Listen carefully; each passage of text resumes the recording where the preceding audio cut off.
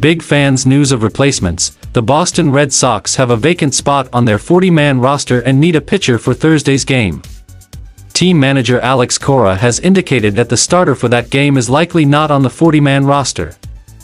Due to injuries and the need for rest for the starting pitchers, the team is seeking an option within its affiliated team, AAA Worcester, to fill that vacancy. Matt Dermody and Jake Faria, both with Major League Baseball experience, are prime candidates to start the game. Young players Rio Gomez and Shane Drohan are unlikely to be picked, given their lack of experience.